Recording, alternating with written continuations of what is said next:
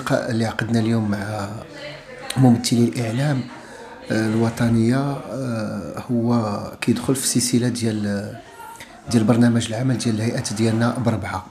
من مورا الوقفة الاحتجاجية بطبيعه الحال كان واحد التقييم وكنا كنتوقعوا يكون واحد رد الفعل ديال السلطات الحكومية المختصة آه، على اثر مشروع قانون المالية وخاصة مادتين 45 مكرر و15 مكرر اللي كتعلق بالاقتطاع من المنبع آه، اللي جات في مشروع قانون المالية. هذا الاقتطاع من المنبع اولا هذه الهيئات المهنية ديالنا الربعه فيها واحد تقريبا عشرين ألف مقاولة اللي كتشغل واحد مئة ألف منصب شغل.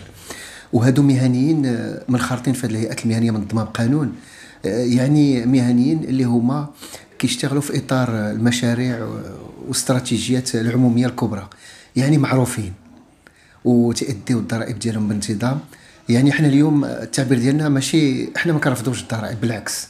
إحنا مع أداء الضرائب لأن هذاك اولا واجب دستوري وثانيا آه، بالضرائب باش يمكننا نحققوا التنمية الاقتصادية والاجتماعية د بلادنا. آه، إحنا اليوم ضد هذا النظام اللي غادي يجي ويبدل النظام اللي هو مبني على التصريح.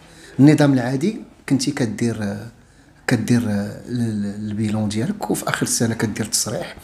وعلى أساس التصريح كتخلص الضرائب كل واحد في الفئة آه، اللي كتهمه اليوم الاقتطاع من المنبع شنو غادي يؤدي؟ اولا اقتطاع من المنبع على رقم المعاملات.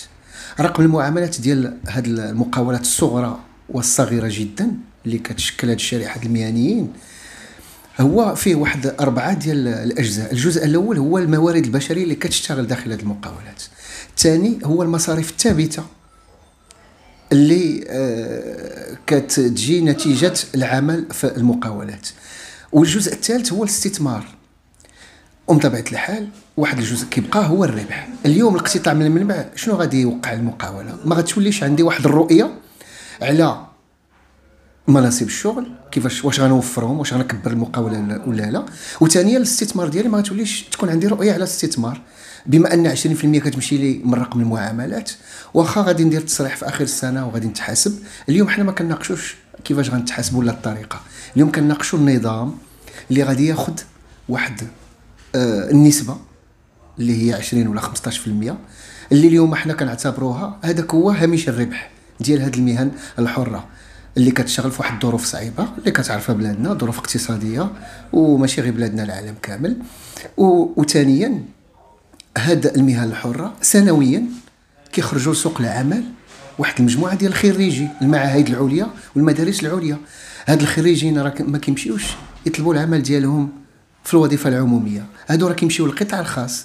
اليوم هذا القطاع الخاص بهذه المقتضيات الضريبية ديال الاقتطاع بناء على رقم المعاملات غادي يأثر على الاستقرار المالي ديالهم وبطبيعة الحال غيأثر على الاستقرار ديال مناصب الشغل وغيأثر على استقرار الاستثمارات. وهاد المهنيين حنا محتاجين لهم في المشاريع والأوراش الكبرى بلادنا وفي التنمية الاقتصادية. دونك كيفاش اليوم هاد المقاولات الصغيرة والصغيرة جدا غادي تولي آه، غادي تولي هشة؟ كيفاش غادي تساهم وغتنخرط في الأوراش الكبرى؟ اذا تنطالبوا باش هاد المواد يتسحبوا تنطالبوا يتفتح واحد الحوار واحد النقاش باش نخمموا جميع في واحد المقاربة تشاركية بين السلطات الحكومية المختصة وبين حنا الهيئات المهنية اللي منظمة بقانون. وهاد الهيئات أنا تنقولها وتنأكد عليها. راه هي امتداد ديال السلطات الحكومية. راه كل هيئة كتنظم القطاع اللي كتشتغل فيه في إطار القانون. دونك اليوم ما يمكنش آه الأجهزة ولا السلطات الحكومية المختصة ما تحاورش مع هاد الهيئات اللي هي كانت في الأول تابعة لواحد الوزارات وواحد القطاعات.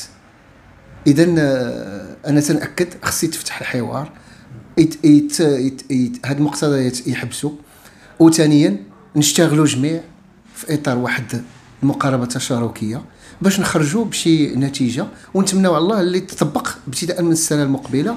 وخصوصا حنا تابعين آه، تابعين لنا مهنيين اللي كيتسناو واحد الجواب.